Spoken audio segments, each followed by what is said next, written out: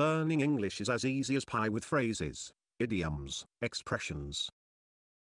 What are you guys gonna do? Uh, we're going down to Colonial Williamsburg. Yeah, a woman I went to college with just became the first female blacksmith down there. Well, you know, they're a little behind the times in Colonial Williamsburg. Well, look, I better go before Mommy starts weeping. Bye. We Bye, love Mommy. you. Bye, we love Mommy. you. Bye. Have a good time.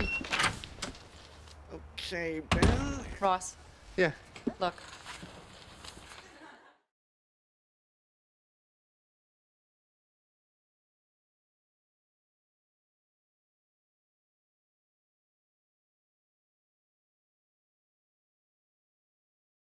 If a person or organization is behind the times, they are not modern because they have not changed as much or made as much progress as others. Say I'm behind the times if you do not show knowledge of current ideas or styles. My aunt is a little behind the times. A business without its own website is definitely way behind the times. Of course grandpa doesn't have a cell phone, he's behind the times, as usual. Old-fashioned.